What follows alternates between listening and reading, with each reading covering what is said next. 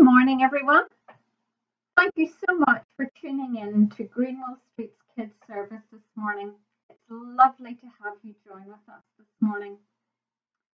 Well, what sort of a week have you had? I've been rather busy this week, I hope you've had a great week. How many of you, I wonder, have been doing some online learning with school? Maybe you've been helping mum and dad inside and outside the house. Maybe you've been baking and cooking, doing odd jobs. I hope you've had a chance to get some exercise. And more importantly, you had lots of chances to play inside and outside. My name is Catherine, and together this morning we are going to learn some more about Jesus. And we're going to learn how we can live for him each day and to be and to be able to grow to be more like him. Now we're going to start our service this morning by praying.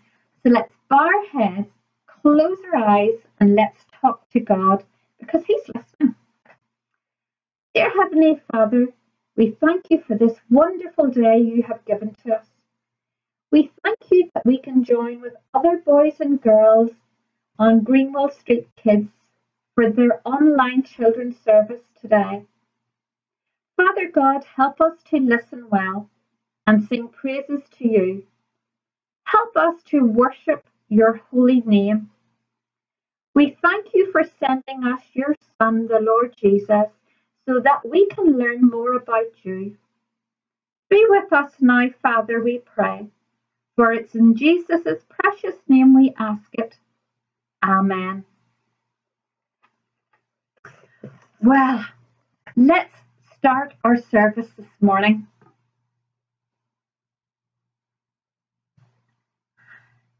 What are you doing? I, this is a surprise. I wasn't expecting Zog at all. Oh, he's laughing at me. Zog. I think he must have heard that I was doing something in my room because you know what? Zog is very nosy, aren't you, Zog? Yeah. I can't be very much at home, but he comes to see what I'm up to. You can see, Zog's not from planet Earth. You're not Zog? No, definitely not. It's a little bit different from us. I want you to have a really good look at Zog. Yep. There's something very, very different about it, isn't there? Yes. Did you spot these lovely green antennae? Zog is very proud of those, by the way. Yes. Can we tell the boys and girls what they're for, Zog? What's wrong, Zog?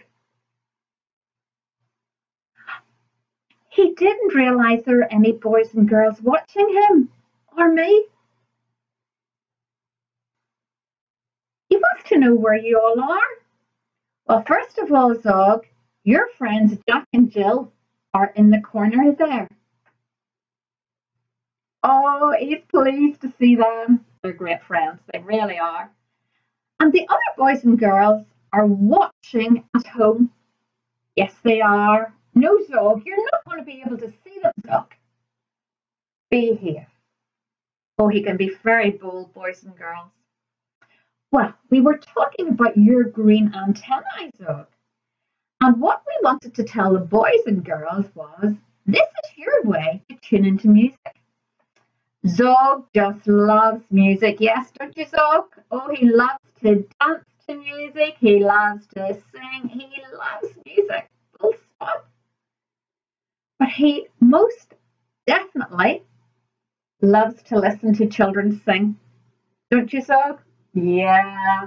Now, Zog, I bet you you would love to hear the boys and girls at home sing, wouldn't you? Yeah, boys and girls, will you sing for Zog now? Let's get up and stand up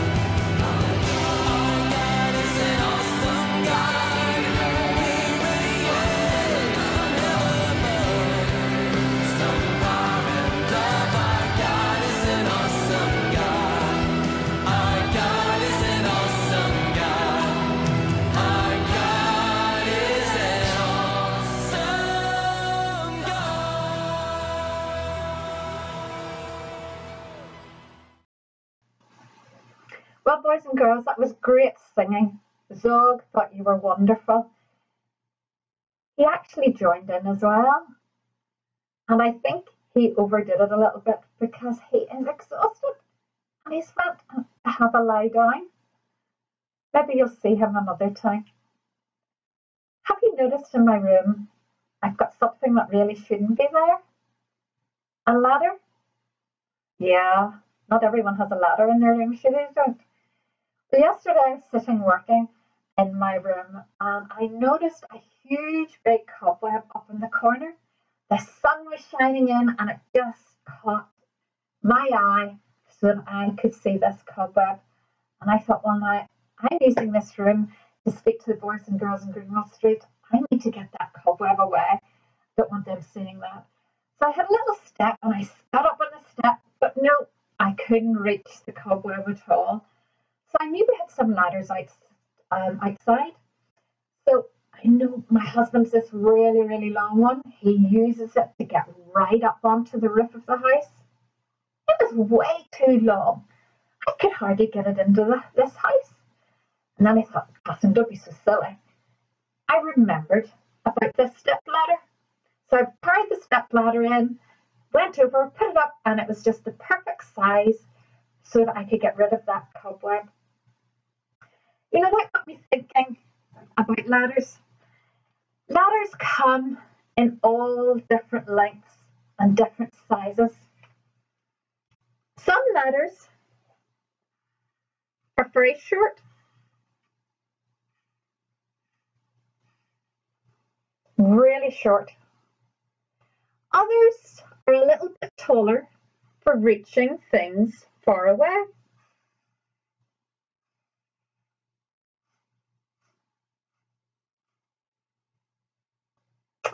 Boys and girls, I wonder, could there be a ladder long enough to reach all the way to heaven?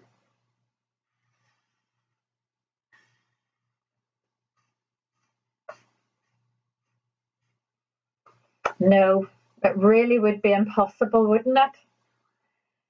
But these different ladders remind me of the different ways people try to get to heaven. Let's look at the first short ladder. Some people think that they can get to heaven by doing good works. They believe if they obey God's laws, they will please God and be able to go to heaven. But you know, God says in the Bible, in Romans 3, verse 23, all have sinned and fall short of the glory of God. Doing good things will never make you perfect enough to get to heaven. So that good works ladder is just too short. Let's look at this second ladder.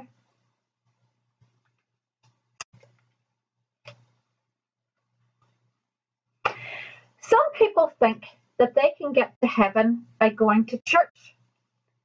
Like going to church is a very good thing. That's why we've tuned in today. We can't physically get to the church building, but we can have church online. But you know what? God says going to church is not enough. Even this church ladder is too short.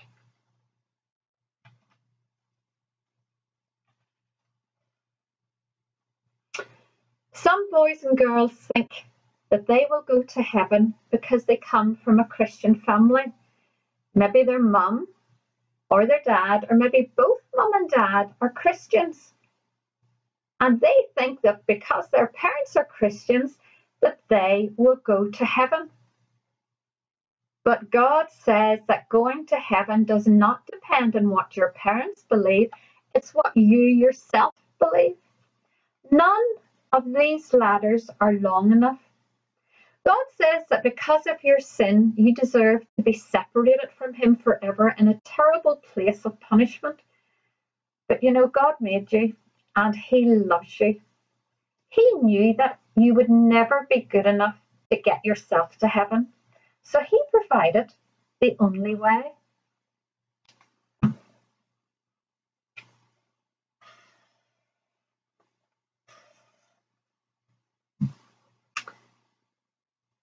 Sent his own perfect Son, the Lord Jesus, to come to earth and to die for your sin.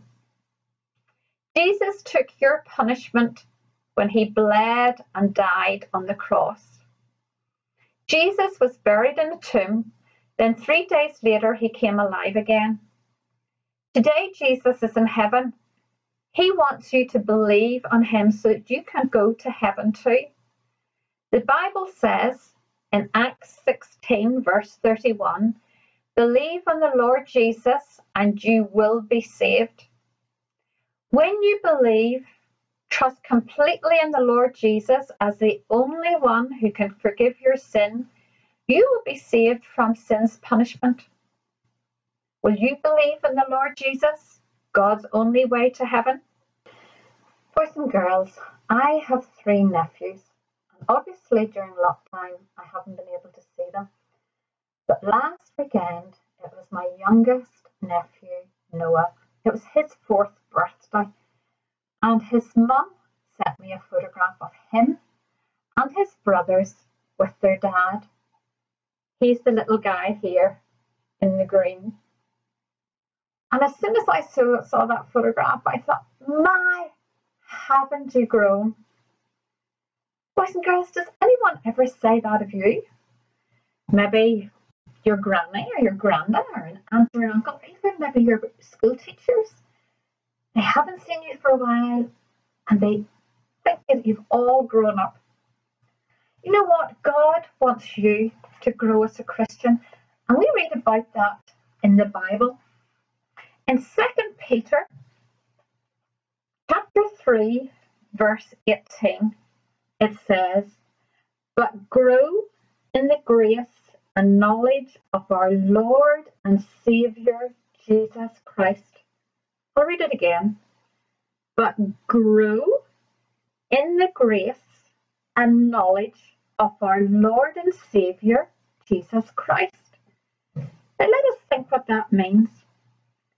Grow in the grace. Well, these words are not talking about growing tall but it's talking about growing in grace. Mm, that's a hard word, isn't it?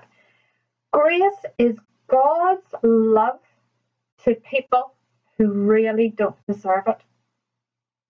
His love for people who don't deserve it.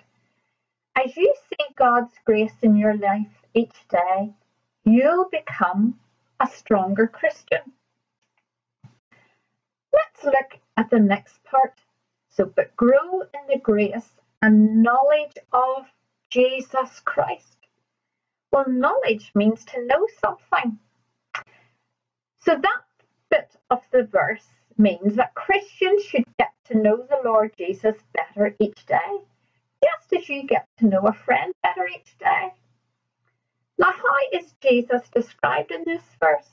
He's described as our Lord and Savior. He is your Savior if He has saved you from your sin. And if He is your Savior, He is also your Lord. He is in charge of you, every part of your life, from the company you keep, to the way you spend your money, the music you listen to, the things that you watch on television if you are saved, you need to spend time talking to your Lord and Saviour. It's important to obey Him. Little by little, you will become like Him. You will grow as a Christian. If He's not your Saviour, you cannot grow. Let's read this verse together. But grow in the grace and knowledge of our Lord and Saviour Jesus Christ. 2 Peter 3, verse 18. Okay, only the people that are wearing something green today. Let's hear you shout it out. But grow in the grace and knowledge of our Lord and Saviour Jesus Christ. 2 Peter 3, verse 18. Now, everyone who had a cereal for breakfast. But grow in the grace and knowledge of our Lord and Saviour Jesus Christ.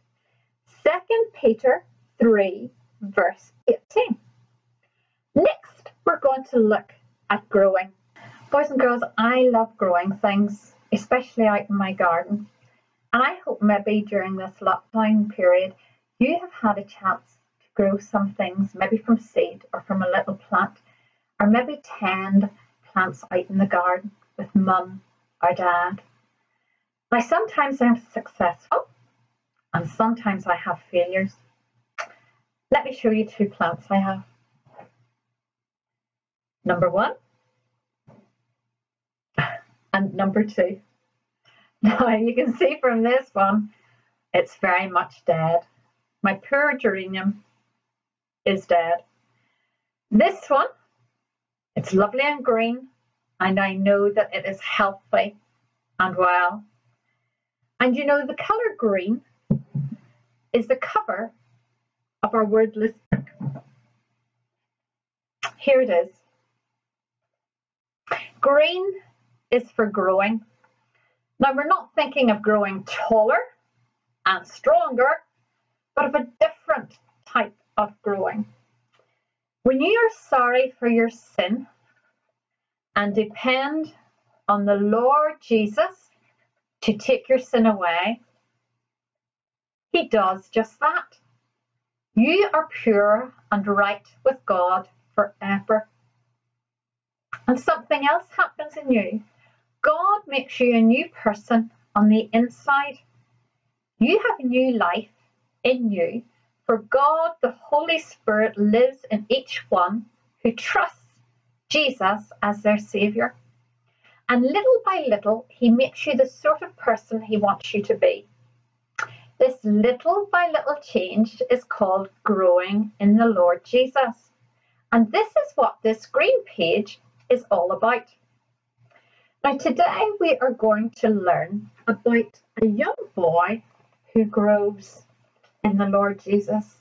Now, this story happens, oh, nearly 2,000 years ago, soon after Jesus had gone to heaven. Now, our story takes place in a town called Lystra, and there is the main person of our story today. This boy is called Timothy, and this is his mum, and this is his grandmother. His mother's name is Eunice, and his granny's name is Lois. Now, these were two very special ladies. They took time to teach Timothy from the Bible, even when he was too young to read for himself. Here is a picture of his mummy teaching him now, their Bible looks rather unusual, not at all like mine. At that time, the Bible was written on scrolls, and this is what a scroll looks like. Do you think having a Christian mum and a Christian granny made Timothy a Christian? No. Do you think reading the Bible made Timothy a Christian? No. But you know, knowing what God said helped him to be ready for one very special day in his life. Probably happened when a great preacher called Paul visited the town of Lystra. Paul told of God's great love for sinners and that he had sent his only son to earth his Son, the Lord Jesus Christ, had died to save sinners. He told how people could be made ready to live with God by depending on Jesus. Timothy listened very carefully and he put his trust in Jesus. Now let's think what happened to Timothy that day. What was taken from him? All his sin.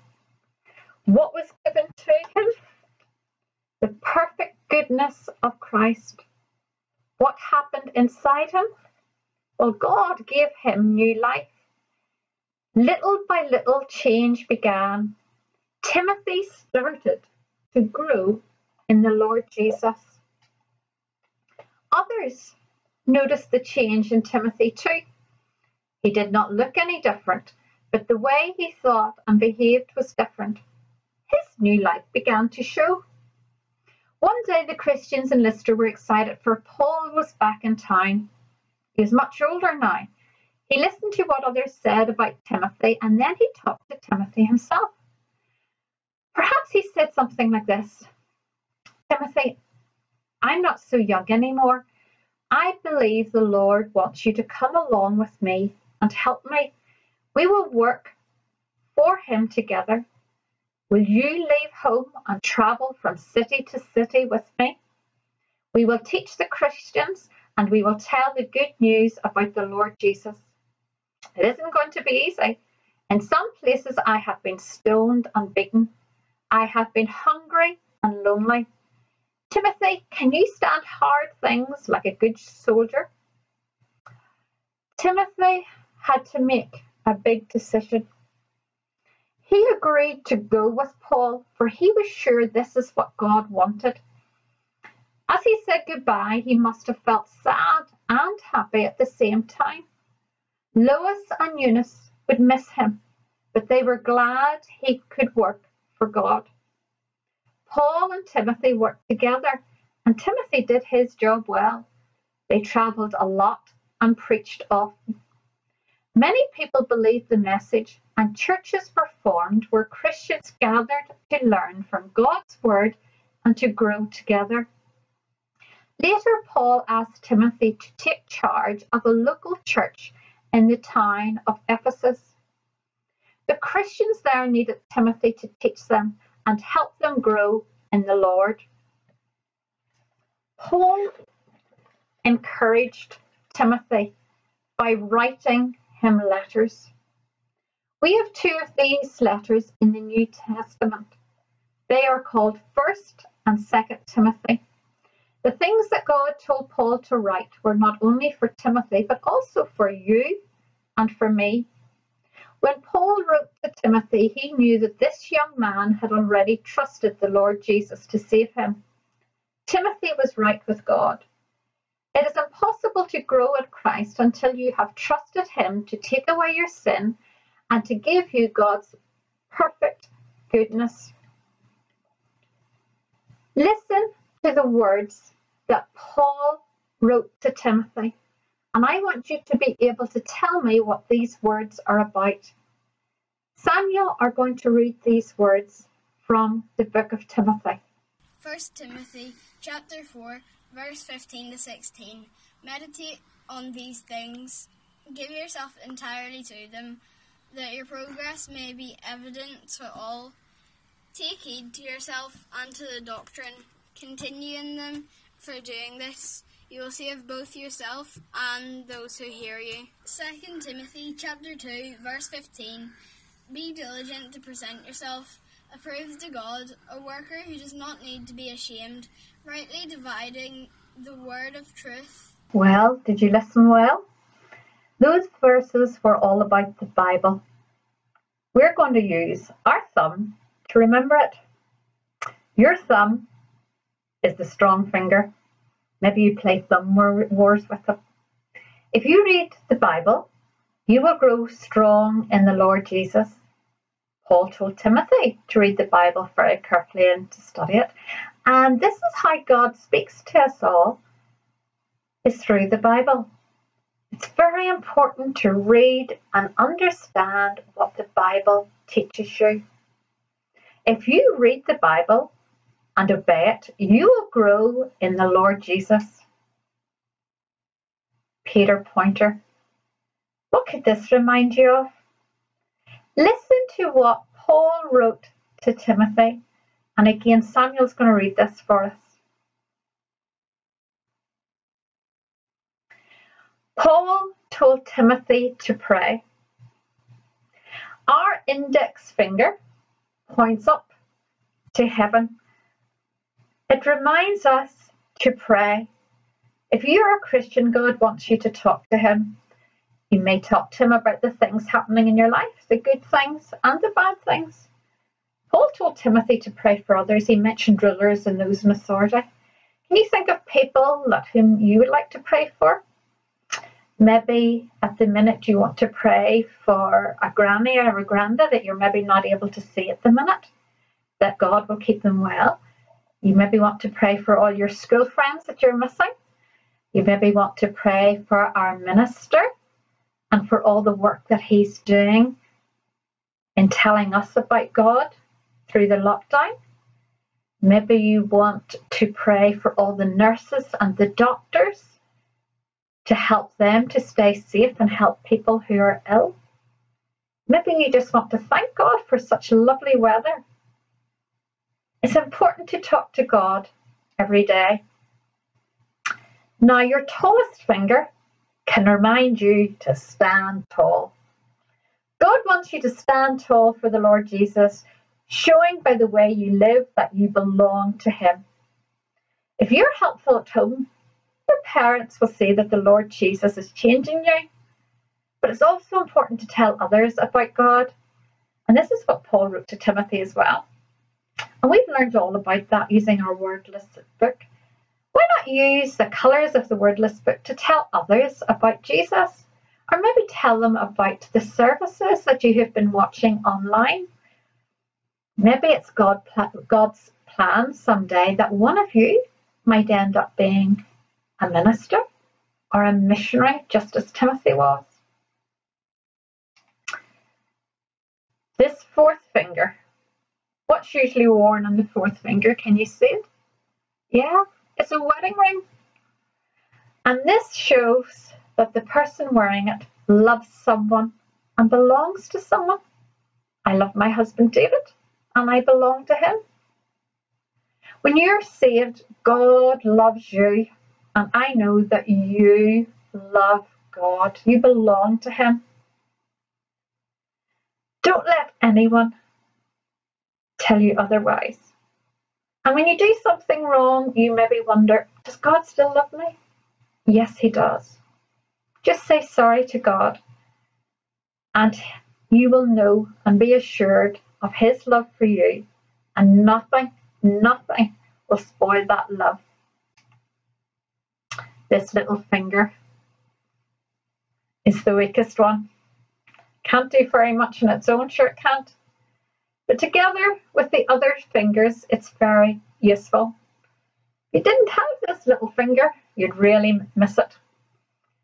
In the letters to Timothy, Paul gave lots of advice about what you should and shouldn't do when uh, Christians come together to worship God. Paul knew that Christians needed to meet with other Christians, otherwise, they've become weak. God wants you to go to church and Sunday school, to be with others and to know God. Together, you'll be able to hear God's word, worship God, and encourage one another. Do you know this little rhyme? Here's a church, and here's the steeple. Open the door and see all the people. Here is the minister climbing the stairs, and here is the minister saying his prayers. So, meeting with other Christians is important. Let's look at my plants again. One has life and is growing. Tell me this are you like that? God has given you eternal life and you are growing Let's see and see how our fingers can remind us of God. I hope you're not like this plant. It has no life. I hope you're not like that. John 3, verse 16, the verse we've all been learning in Sunday school, tells us to trust Jesus and we will not perish, but will have eternal life. After the service is over, I'd love you to get a piece of paper and get mum or dad to help draw around your hand. We're going to write things into our hand to help us to remember how to grow as a Christian. Remember, our thumb was the strongest finger. And to be strong in Christ and to grow in our faith, we have to read the Bible. So on our thumb, we're going to write the word Bible. And mum and dad, you help the boys and girls spell these words. Number two, Peter Pointer. Remember pointing up to heaven, pointing up to God. And when we point with our finger, it's to remind us to pray to God. By praying to God, we will grow as a Christian. Hope you can see that there. This is our tallest finger. We're told to stand tall for Jesus. And to stand tall for Jesus means we shouldn't be afraid of telling others about him. So in that finger, we're going to write tell others. Okay, can you see that? Now our fourth finger. Now I know you don't have a wedding ring on and you're not married, but let's draw a ring on anyhow and put a little heart inside it. And obviously that finger reminds us that we love God and more importantly that God loves us. So inside that, write, God loves me. And there's not room to write the word love, so we'll just draw a heart there. And this little finger is the weak one at the end, and it can't manage on its own. So that one reminds us that we need to meet together.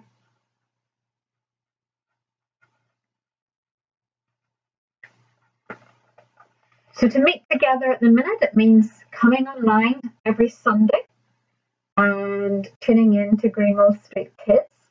After the lockdown, let's get back to Sunday school, afternoon Sunday school, get back to church, GBs and BBs and all those other youth organisations.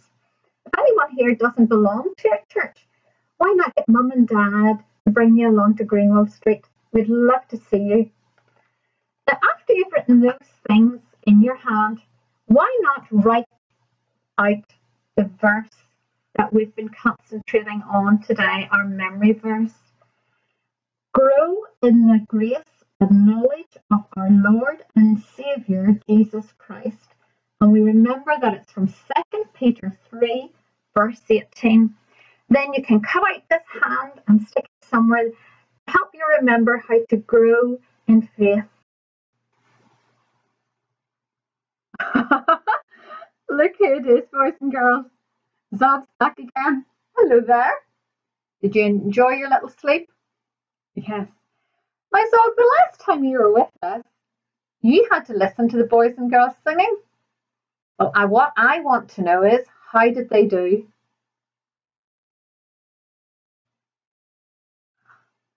He said you did brilliantly. He really enjoyed both songs. Great. But, Zog, are your antennae twitching again? Does that mean there's going to be another song?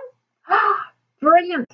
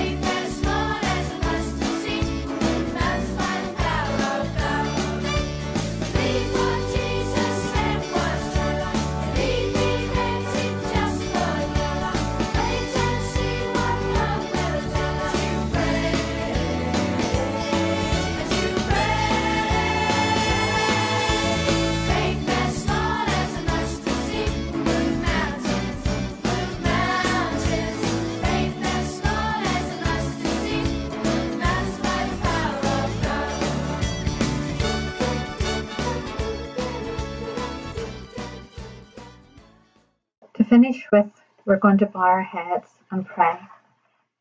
So let's put our hands together and bow our head. Dear Lord Jesus, we pray for everyone who belongs to our church. If they are worried, tired, or lonely, we pray that you would help them to know you love them. If they are happy, we pray that they would give you thanks and praise you with joy. We pray that everyone in church would listen for your voice. Help us all to listen to your teaching so that we may love and grow and serve you better. Keep us safe until we tune in next week, for we ask these things all in your precious name. Amen. Boys and girls, can I just remind you about our memory verse competition? This was our memory verse today. If you can learn it and say it without reading it or without any prompts, get mum or dad or some other responsible adult to record you and send it to Greenwell Street Kids. We would love to see it. Thank you.